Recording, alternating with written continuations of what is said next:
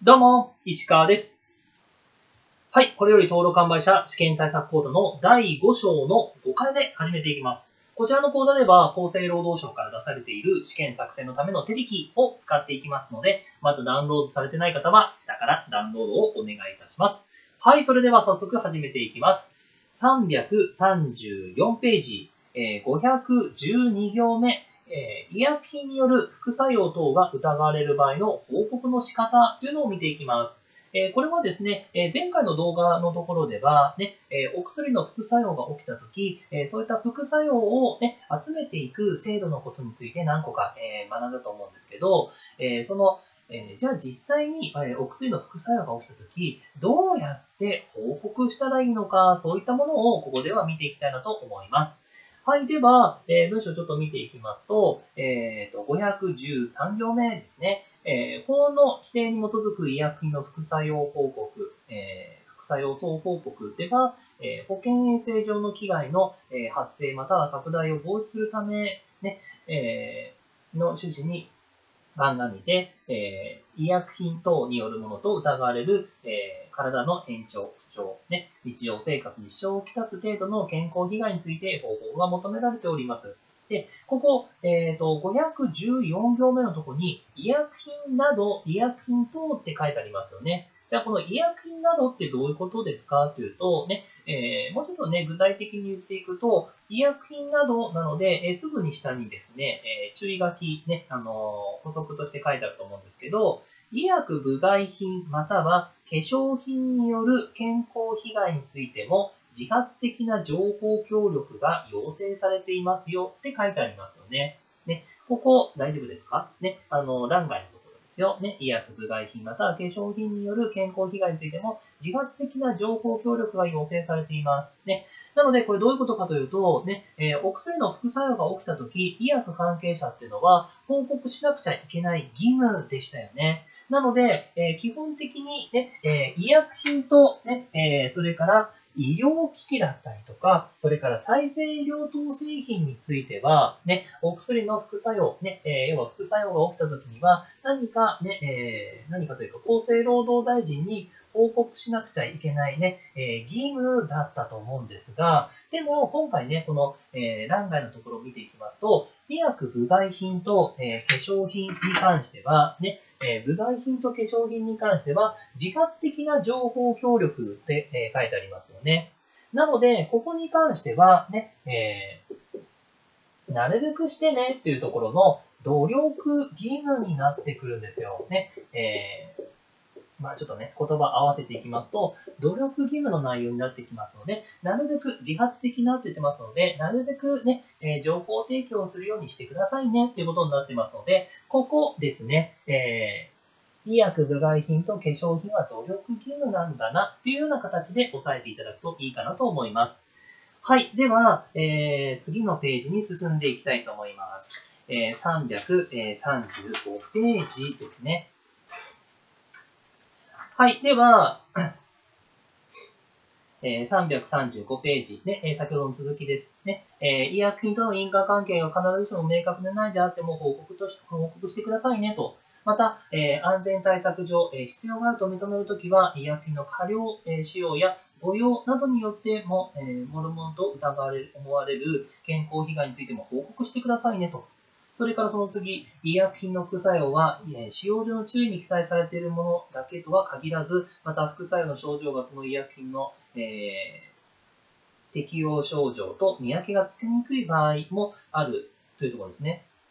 なので、えーここまでいろいろ見ていきますと、ねえー簡単にいきますと、ね、報告に関しては、ね、どんな健康被害でも報告してねっていうことなんですよ。ね。なので、医薬品との因果関係が明確でない場合、ね、え間違って過剰に使用してしまった場合とかね、そういったこともいろいろ書いてあるんですけど、簡単に言うと、どんな健康被害でも報告してくださいねっていうことを言ってます。よろしいでしょうかね、ここ。ね。はい。それで、えーまあそういったところでは、ね、じゃあ、そのどんな健康被害でも報告するけど、どうするんですか？ね、えー電話でピッピピピッって、ね、えーすいませんとね、あの、厚生労働省か、みたいな形でね、報告するんですか？って言ったら、えーしっかりとした報告様式というのがあります。はい、えー、それが、えー、524行目。ね。報告様式は医薬品、医療機器等安全性情報と同様、え、総合機構の医薬品、医療機器、え、情報提供ホームページというところから入手することができます。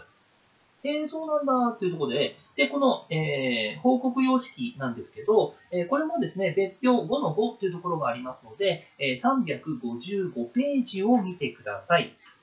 355ページですね。後ろの方ですね。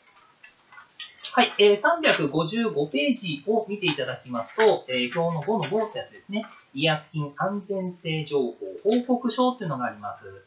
はい、えー、これですね、こうなんかいっぱい書くことありますよね。結構いっぱい書くことあるんだなというところですね、見といていただければと思います。特に、ここの中、ここも試験範囲ですよ。ね、ここの中で注意しておいてほしいんですけど、患者情報の中で、患者イニシャルってなってますよね。ここを赤チェックしておいてください。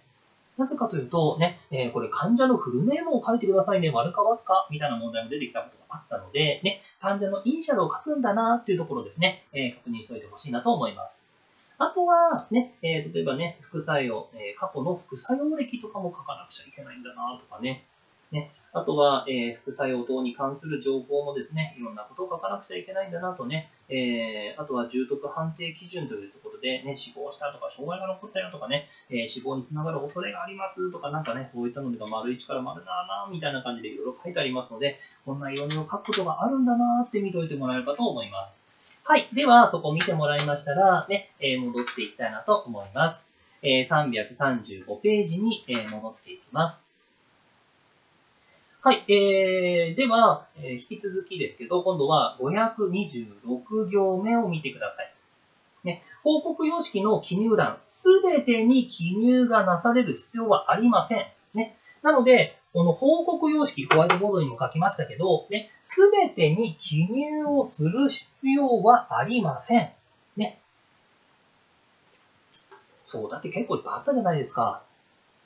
で、えー、さらにですね、えー、527行目、ね、医薬品の販売等に従事する専門家においては、購入者と、ね、健康被害を生じた本人に限らないから、把握可能な範囲で報告がなされれば良いですよって言ってますよね。そう。なので、購入者、これが、もし本人だったら自分のことなんでわかるんですけど、例えば、その、ね、健康被害を受けた方が、ね、副作用が起きてしまった方が亡くなってしまいました。ってなった時には、その家族に聞いていかなくちゃいけないので、なので、その家族が、えー、過去の副作用歴とかね、えー、なんかそんなの分かりますか？って言ったら、なかなか分からないんじゃないかなと思いますね。なので、えー、そういった意味では、ね、えここすべてに記入する必要がないんだなというところを、え確認しておいてほしいなと思います。そして、えー、例えばですね、えー、そういったお薬を販売した、ね、お店では、ね、薬剤師や登録販売者、ね、様々な専門家がおりますので、えー、その様々な専門家がみんなね、あの報告しちゃうと情報がですね、なんかいろいろあの違っちゃったりとかっていうことがあるかもしれないので、なので、え529行目見てください。医薬品の副作用等によるものと疑われる健康被害の情報に接した専門家1名から報告書が提出されれば十分ですね。なので、専門家1名が報告してくださいねということを言っています。はい。そして、えー、531行目、報告期限は特に定められていないが、ね、えー、保険衛生上の、えー、被害の発生または拡大を防止する観点から、ね、報告の必要性を認めた場合においては、ね、え適宜速やかに報告してくださいねって言ってます。ね。なので、報告に関しては、ね、なるべく早めにね、速やかに行ってくださいと。なので、これ、ね、え医薬関係者は速やかにでは、企業からの報告は、定められた期限ってやつがありましたよね。覚えてますか？ね。えー、15日以内、30日以内、あとは定期報告みたいなものがあったと思いますので、そのあたりね、もう一度思い出してくださいね。はい。それで、えー、速やかに、えー、報告しなくちゃいけないというのが、あの、あります。ね。それで、えっ、ー、と、例えばですね、ファックスとか電子メールとかで、えー、報告書ね、送付することができるんですけど、ね、例えばファックスとかでね、えー、なんか他のとこ送っちゃって、あれなんか、あの、ちゃんと送れてるのかどうかっていうのがわからない場合がありますので、なので、えここではですね、えちゃんと、え報告書、え受け取りましたよというところで、え厚生労働省の方からはですね、え安全性、安全性情報を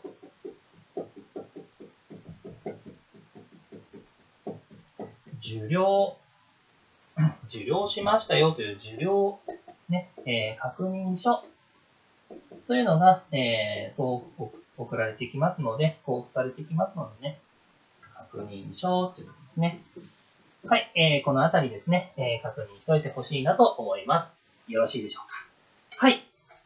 では、えー、ここですね、あのー、ちょっとややこしい内容もありますので、えー、しっかりと復習しておいていただきたいなと思います。はい、ここまで動画いいなと思っていただいた方、えー、ぜひ LINE アートなどにお友達登録していただきますと、えー、いろいろ質問なども受け付けていきたいと思いますので、ぜひ、えー、ご登録いただきたいと思います。はい、それでは本日も動画を見ていただきましてありがとうございました。